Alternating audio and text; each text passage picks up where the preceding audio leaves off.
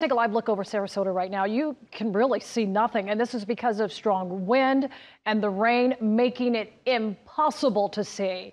For those riding out the storm, they're looking at possible catastrophic damage. First Alert Chief Meteorologist Jennifer Valdez is in the Weather Center tracking Milton's path. Jennifer? Yeah, in the center of the storm, now only about 100 miles southwest of Tampa, Florida. You can see it very clearly here on radar, but much of the state already seeing torrential heavy downpours and severe storms. The state has been inundated with tornado warnings pretty much the entire day today, and that continues. Those purple boxes are confirmed tornadoes. The red boxes are active tornado warnings that we're seeing across much of the state of Florida.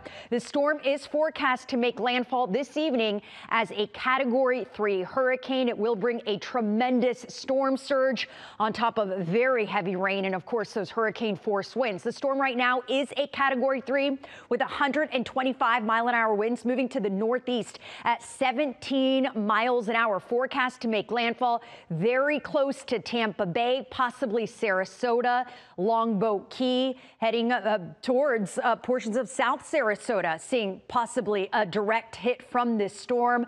A Category 3 storm as it moves inland to Category 1 as it moves just south of central Florida near the Orlando area, then weakening as it moves east. As this moves onshore this evening, storm surge is going to be one of the biggest threats, especially from Sarasota to Boca Grande, where we could see a storm surge of 10 to 15 feet. Even the Tampa Bay area, 8 to 12 foot storm surge possible. We'll talk more about that storm surge, how much rain we're expecting, and possible impacts along the Georgia coast coming up.